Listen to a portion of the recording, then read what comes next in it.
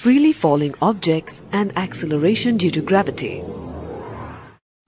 All objects, when dropped from a height, fall towards the earth. This happens due to the gravitational force exerted by the earth on the object. Suppose you drop simultaneously a small stone and a cotton ball of the same size from a height. Which of the two will reach the ground first?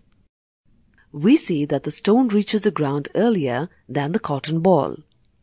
So, we may falsely conclude that the heavier objects fall faster than the lighter ones. That is, the acceleration produced in heavier objects is more than in lighter objects. Galileo showed that all bodies, whether light or heavy, fall at the same speed towards the earth.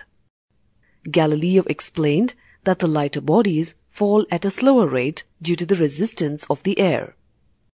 Later, Robert Boyle proved this experimentally. He placed a coin and a feather in a long glass tube and evacuated it with the help of a vacuum pump. Robert Boyle observed that when the tube was inverted, both the coin and the feather reached the bottom of the tube at the same time. Thus, he concluded that the acceleration produced in all the freely falling bodies is the same and does not depend upon the mass of the falling body.